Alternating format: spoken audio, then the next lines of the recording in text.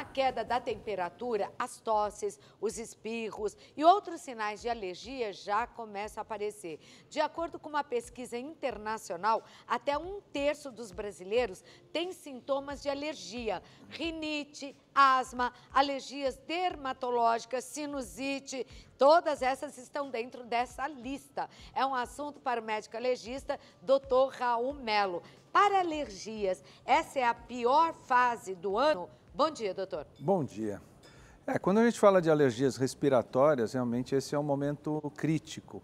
É um momento em que isso se confunde também com as infecções respiratórias, porque isso facilita os vírus circulares. As pessoas estão mais juntas, o ambiente frio facilita o vírus também pegar na mucosa e se reproduzir. E aí ataca quem já tem alergia, acaba piorando isso. O próprio frio também é um problema. E o que a gente nota, doutor, é que se tem um que não está muito bem numa casa, é comum que isso se espalhe para os outros, não é? Com, com certeza.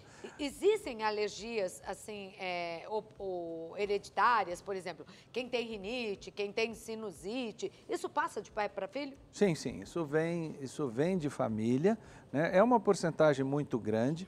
Isso vai se adicionar ao ambiente que a pessoa vive, né? Uh, por exemplo, pessoas que vivem no sul, né, Paraná, Santa Catarina, Rio Grande do Sul, tem muito pólen. O pólen ele causa um problema uh, depois desse período do inverno e vem a primavera, com a polinização, você tem sintomas por causa do pólen. Se você vai em regiões como uh, Nordeste, próximos de praia, né, você vai estar em Belém, por exemplo, Uh, antigamente se achava que, como eram regiões com menos poluição e muita umidade, eh, as pessoas não tinham sintoma, mas na verdade o que os estudos mostraram é que uma grande porcentagem de pessoas tem sintoma, até porque a umidade também muito alta nos ambientes fechados uh, facilita a proliferação de fungos, facilita a proliferação de ácaros, então os alérgicos acabam sofrendo por causa disso. Isso vem de família, né, a genética. É genética, né? Não tem jeito, né? Uma, é uma herança que você não queria, mas que está lá, presente na tá sua lá. vida. Agora, no inverno, o que acontece também, muito comum, é você deixou aquele edredom guardado, você deixou aquele cachecol guardado, aquele cobertor, aquela blusa de lã, e tira isso para começar a usar. Essas peças que ficaram guardadas, elas já vêm com problemas para gente? Já vem com problema. Então, o ideal é você é, colocar no sol, ou lavar bem para depois colocar no sol. Uh, por quê?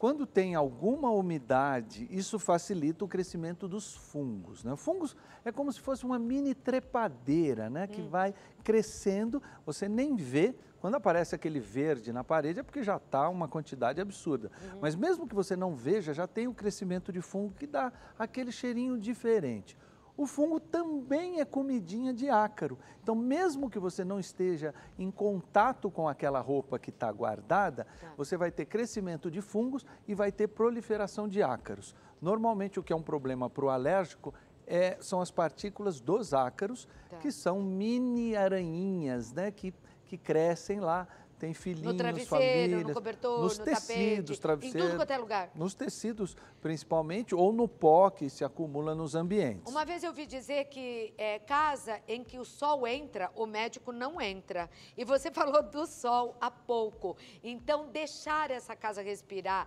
abrir a janela, deixar entrar o sol é importante para a saúde. Com certeza. É, o, muitas vezes o médico, na, nessa avaliação, vai perguntar como está o ambiente doméstico. Né? Mesmo em alguns lugares que tem a possibilidade de entrar o, o sol, às vezes as casas têm problemas, né? casas geminadas né? e, e que, que, que mina água. Então a primeira coisa é tentar com uma obra resolver essa questão, né? uma obra que tire essa umidade, que faça uma barreira para essa umidade. Como as mães, os pais conseguem descobrir se o que a criança tem é uma alergia do inverno ou é uma gripe, um resfriado? E a gente também, né? É, isso é uma, essa é uma questão realmente complexa, porque os sintomas muitas vezes são parecidos. Nariz que escorre, secreção, Nariz catarro entupido. e tosse. Então, uh, o, a dica primeiro é se tem febre. Tá. Então, o, a, o, aparecimento da febre, nem que seja um dia, nem que seja uma medida de febre, já mostra que tem infecção. Normalmente, vírus que pegou de alguém. Agora, esses sintomas de nariz, tosse, catarro, sem o aparecimento de febre, sem outras pessoas em volta terem os sintomas, muitas vezes está relacionado à rinite. Então você vai ter que fazer uma abordagem aí, eh, alguns exames para confirmar que a pessoa é alérgica e uh, uma abordagem de antialérgicos, remédios muitas vezes que são aplicados no nariz, são colocados na inalação e antialérgicos para o via oral, né?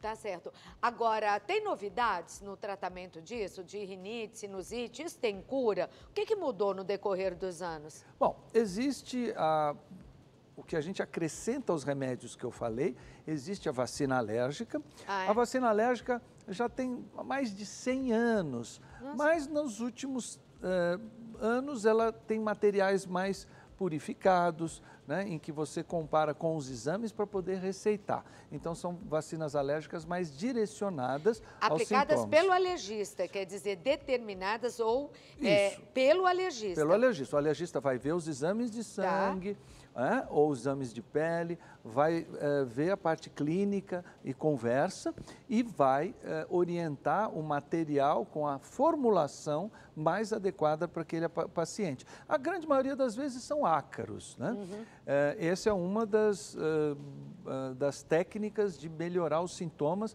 por bastante tempo, porque uma vacina alérgica chega a ter efeito de 5 a 10 anos. Nossa, de, é uma tranquilidade. Depois que pa parou.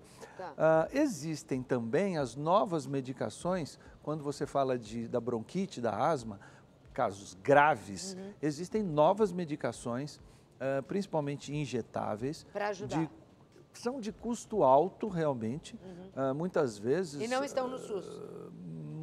Maioria das vezes não. não.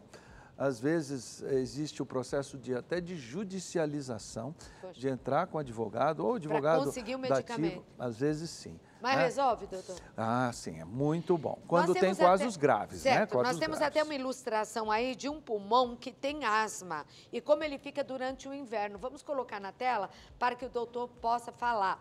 É, os casos de bronquite, de asma, eles aumentaram ou diminuíram no Brasil no decorrer? Eles aumentaram nas últimas é? décadas, sim. Né? Da mesma forma como a alergia aumentou. Sim. Na infância, as crises de bronquite ou asma são basicamente alérgicas. Uhum. Quando você pega os adultos, já uma parte é alérgica e outra parte é não alérgica. Né?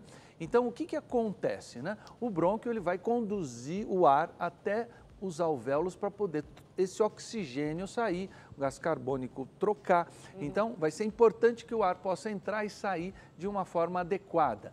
Os brônquios não são tubos rígidos, não são tubos de PVC, eles são dinâmicos. Nesse frio ele fecha um pouco. Uhum. Se tem uma poluição, um incêndio, uma fumaça, ele fecha para te proteger, proteger o seu pulmão, que é sensível a um calor muito intenso ou a poluição. Tá. No caso eh, de uma pessoa que tem bronquite ou asma, esse fechamento dos brônquios acaba sendo um fechamento inadequado, é mais forte do que precisava, acaba estrangulando os brônquios. Né? Crianças e adultos muitas vezes têm uma sensação de sufocação, é uma sensação de morte iminente, é terrível, é muito desagradável. Né? Então, conseguir perceber que isso está acontecendo e se repetindo vai ser uma coisa importante numa avaliação médica para dar um tratamento prolongado. Se não existe uma cura, pelo menos existem tratamentos prolongados que fazem a pessoa viver muito melhor. E a bronquite, a asma também é um problema hereditário? Também é um problema hereditário. Na infância, está basicamente relacionado à alergia e nessa herança genética alérgica. Né?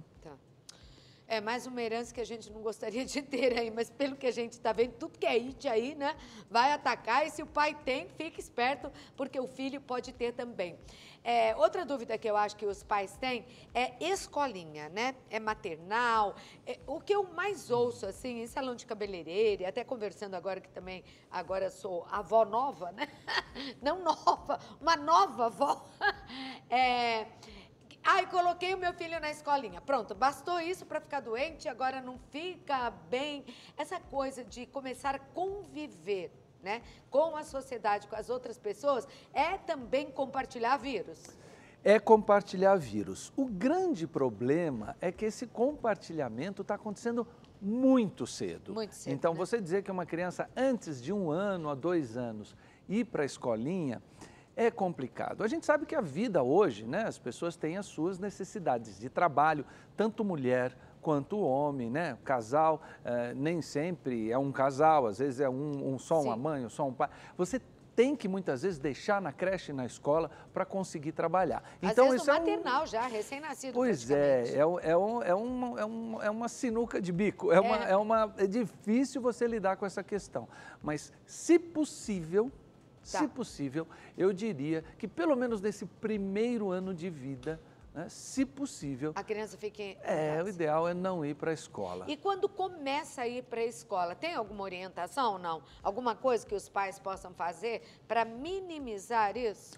Bom, ah, importante ir num local que você confia, importante ir no local que tem as medidas de higiene básicas, né, que você eh, possa ter um ambiente saudável, um lugar que possa ter um pouco de contato com algo de natureza, É que não seja só né, paredes, né, portas, paredes e Reparar se o teto, lugar não é né? mofo, se não é Isso. Muito fechado. É, poder sair um pouquinho, poder brincar fora, no externo, no sol, poder ter alguma árvore. Isso vai criando né? ou aumentando a imunidade? Sim, porque na verdade as bactérias que moram com a gente, né, que a gente chama microbiota intestinal, microbiota da pele, depende também do contato com a natureza. Tá. Depende do contato com alimentos saudáveis, né? é, tentar usar menos possível antibióticos, né?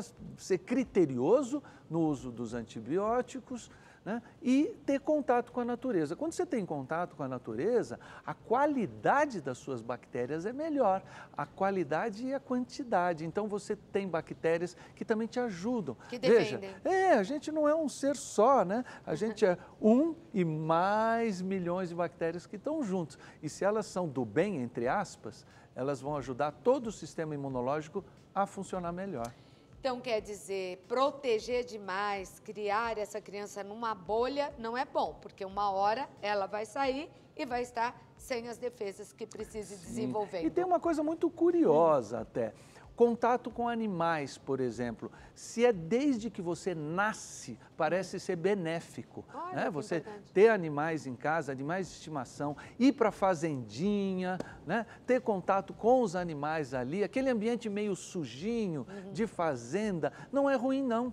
Isso tem Ah. a ver com o contato de bactérias do bem nesse contato com os animais. Agora, pode acontecer realmente, se você adquire um animal, põe um animal em casa, a criança tem 5 anos de idade, já passou essa fase inicial em que esse contato é benéfico, pode acontecer realmente de desenvolver alergia a- ao contato com os animais. Hora de procurar o alergista, sempre é hora de procurar o alergista. Qual o seu recado final, então? É, doutor Raul Melo, alergista, para quem está assistindo o nosso programa nessa época do ano, outono, inverno.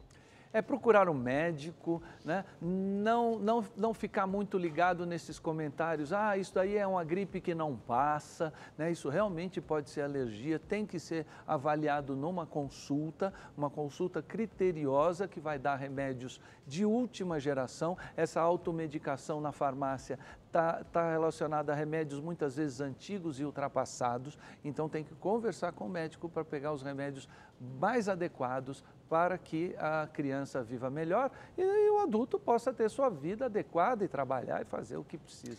Ai, doutora, eu gostaria de ficar conversando mais aqui, mas em televisão o tempo é sempre curto. No seu Instagram, que nós vamos colocar aí no vídeo, tem artigos, tem outras Também, informações? também tem relaciona ao site, onde tem artigos para que, que orientam de né? alergia. Sim, com certeza. Tá aí, participação em nosso programa, doutor Raul Melo. Um beijo.